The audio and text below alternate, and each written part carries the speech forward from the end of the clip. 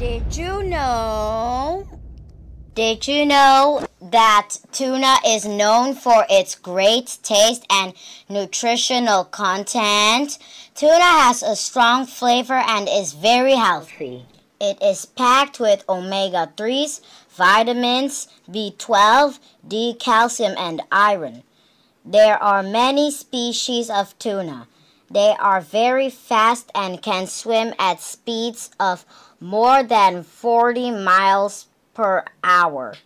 Tuna is an important commercial fish. Various species of tuna are often served raw in Japanese cuisine as sushi. Tuna canned and packaged for sale is sometimes called tuna fish. Tuna is often used for sandwiches, tuna salads, tuna casseroles, tuna melts, and tuna burgers. So, now you know.